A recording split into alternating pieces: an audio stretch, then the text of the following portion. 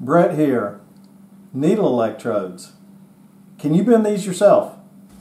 If I can bend this, or six subdermal needles, or this elevator, well, I really don't want to bend it, so I'm going to bend this stainless steel that's the same size. I might even be able to bend parts of this retractor, but I'm not gonna, because I just love this sucker. So the question isn't whether you can bend these needle electrodes, the question is, should you? The second most important consideration is the sum of the legal ramifications. But overwhelmingly, the first most important thing to think about is patient safety. Why? When a needle breaks in tissue, it migrates towards the tip, which is pointing where? Usually exactly where you don't want it to go. But let's first get the legal ramifications out of the way. Remember, I'm not an attorney, so take this with a grain of salt. If a problem with the needle you bent ever results in a lawsuit, the attorney for the device manufacturer will try to prove the device was used in an inappropriate way by the clinicians involved. That might be you.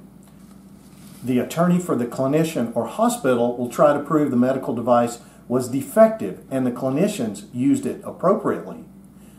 Best to avoid that nightmare scenario. Here are the intended use statements on file with the FDA for three common subdermal needle electrodes. None of them state it is appropriate for the end user to bend the needle. My opinion is that a trial attorney will say that when you bend one of these, if the instructions for use do not say you can bend it, you're taking it into an off-label use territory. You have taken that liability onto your shoulders. So, if you're currently bending needle electrodes or other medical devices for that matter, maybe you want to talk to the manufacturer of those devices and make sure that they're okay with that. Hey, enough with the legal discussion, right? Let's get to the fun stuff. What happens when you bend stainless steel and can you break it? You already knew the answer. Of course you can. If you bend it the right way. So what are the physics of how we broke this 316 stainless steel wire. So let's consider this wonderful stuff we call stainless steel. Coated steels, zinc or chrome plated tool steel, hmm, I'm thankful for it. But stainless steel, it just looks right and it feels right. Stainless steel, it's amazing at resisting corrosion.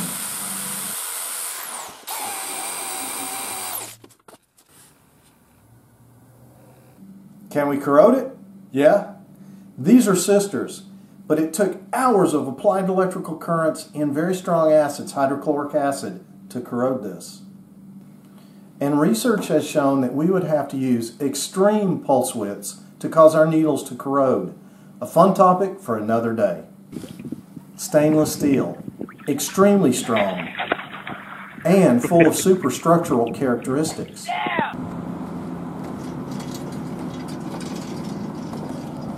My favorite mechanical engineering professor, Steve McNeil, helped with the equations that show this swing assembly will safely swing a 900 pounder.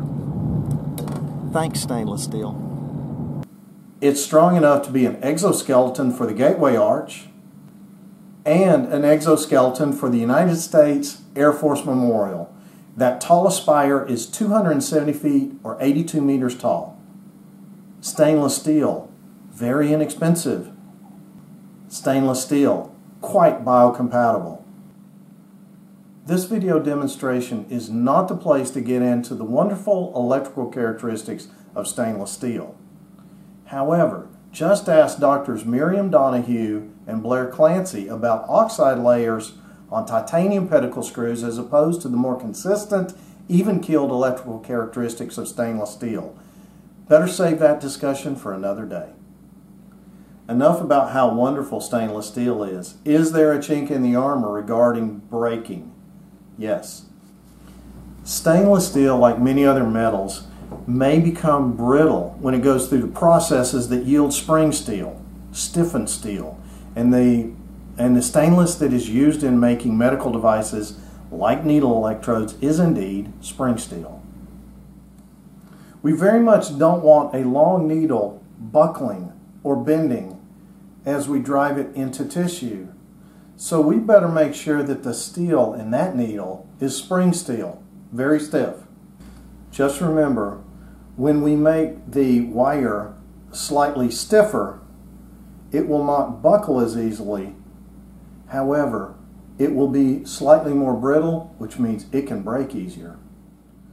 We already saw that I can easily break this wire if I use a set of pliers like this. I'm going to take a sister to the wire that I broke before. Place it in the, this set of jaws with a large rounded set of grips.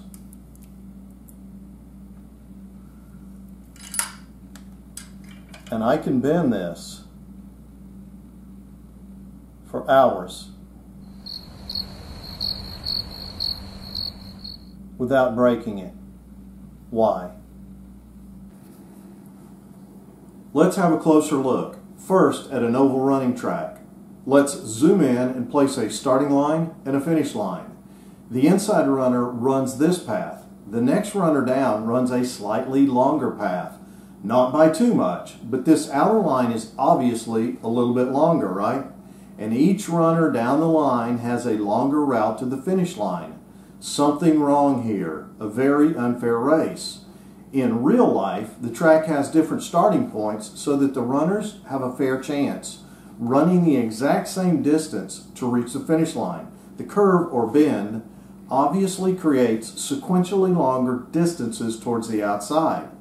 The situation is the same with a stainless steel wire wrapped around a bending mandrel. Rotating slightly, we see the wire cross section. At the widest part of the wire, we can highlight a center plane in black around which the wire tends to deform.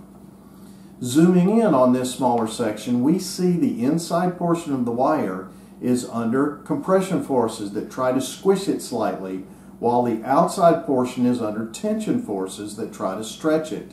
And clearly, that level of compression, squishing, increases toward the inside, while the level of tension, stretching, increases towards the outside. Even though stainless steel is quite strong, if you stretch it enough, it will fracture and break. This is a stress fracture, and yep, that is exactly what we very much want to avoid. So, what variables are involved in bending wire in such a way as to avoid creating stress fractures?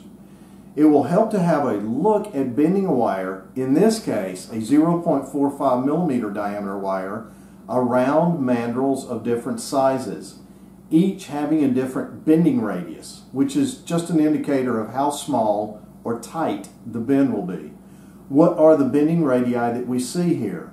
Let's remove the wires for a moment.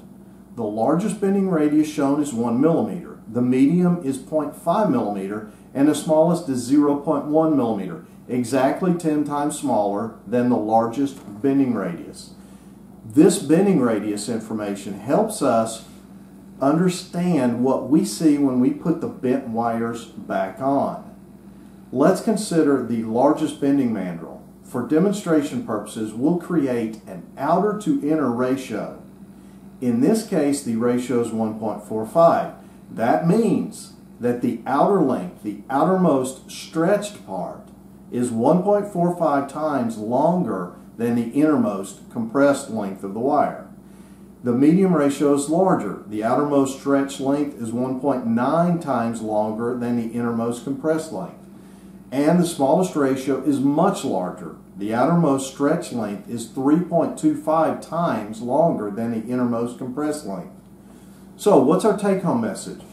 the smaller the bending radius we use, the greater the tension forces we place on the outermost portion of the wire, and the more we increase the risk for stress fractures. Or you can easily demonstrate this with the skin on the back of your wrist. Extend your wrist and grab a thick section of skin. When you flex, your skin becomes very tight. It might even be hard to hold on to the skin. But when you extend, it's very loose and you can easily grab it. Tight, loose. Or just play around with the slinky. And watch how clearly the outermost length is clearly longer than the inside length. Getting back to our needle bending question. Here is an image showing different size bends in four subdermal needles.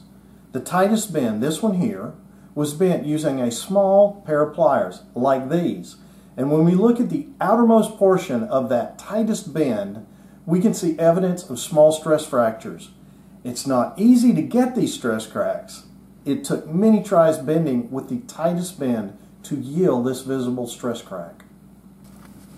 So even though it's difficult to create the situation that yielded the stress fracture, we still need to work really hard to avoid it, right? How do we do that? First, consider these surgical clamps and this set of pliers that we might use to perform a bend. Let's get a close-up of their edges. The edges are quite sharp. It would be a big mistake to use these to perform a bend in a stainless wire as the bending radius would be tiny and facilitate stress fractures. It's not appropriate for me to recommend practice, so please remember the following is food for thought. It is not a recommendation. The same pair of pliers with the sharp edges. If you place plastic tubing, such as this PTFE or Teflon tubing, over the tips, it's just hard plastic, you have created a malleable, larger mandrel Does it work? Well, it works pretty well for me. But is this right for you? Only you can decide that together with your biomedical team, your clinical team, your risk management team for your situation. And if you do decide to go with something like this, you just have to make sure you're using sterile technique. It's my hope neither to promote nor detract from creating Benzin products, unless they're not intended to be bent, in which case you should not bend them yourself. Rather, I hope to explain how the stress fractures can occur so you can avoid them in the event you tackle the job yourself. Thanks so much for watching. I do hope this helped connect some dots. Um, that is my intent. And if, if this was helpful, if you got something from it, please consider subscribing. Regardless, I thank you for your time. And uh, let's keep uh, checking out our field and connecting dots.